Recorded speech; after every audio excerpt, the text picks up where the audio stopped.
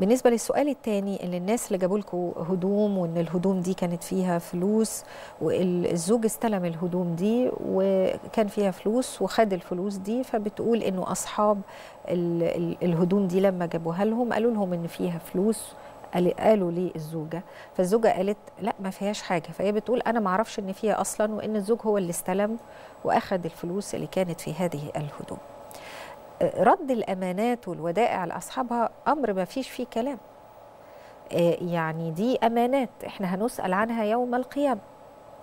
ولا يخون الإنسان المؤمن أخاه الإنسان في أي شيء. فكان وجب على الإنسان إذا ما وصل إليه أمانة أخيه اللي هو ملوش حق فيها إنه يرجع المال لأصحابه أو الامانه لأصحابه. ولو كان الأمر زي ما حضرتك تفضلتي وقلتي وشرحتي فالوزر في الحالة دي هيكون على ذلك الزوج اللي أخذ ذلك المال ولم يبلغ أصحاب الحاجة دي اللي كان فيها المال عن هذا المال شيئا.